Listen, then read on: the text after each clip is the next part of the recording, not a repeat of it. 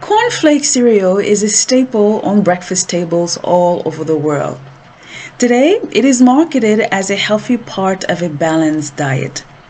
But cornflakes were originally invented by a very religious doctor to stop people, are you ready, from masturbating.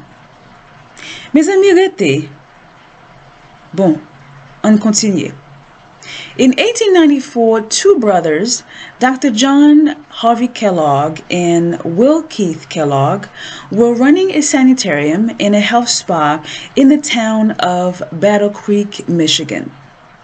Both of the Kellogg brothers were Seventh day Adventists, a denomination emphasizing strict clean living, and their religious beliefs had a huge influence on many of their uh, quote unquote treatments.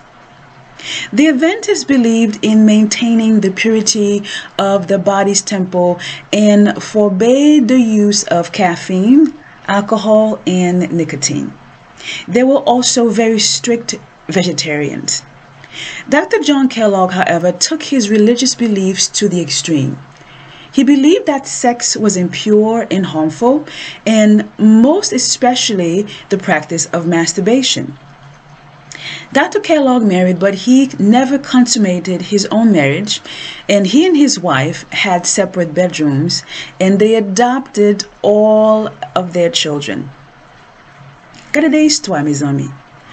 But another part of his strange anti sex and anti masturbation treatment came from his Seventh day Adventist reliance on the vegetarian diet.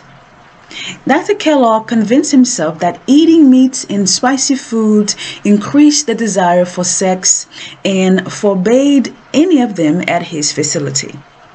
So, in 1898, he created his own anti sex food by mixing cornmeal and oatmeal into a dough, adding nuts, and baking them into biscuits, which were then crumbled into pieces, which he named granola.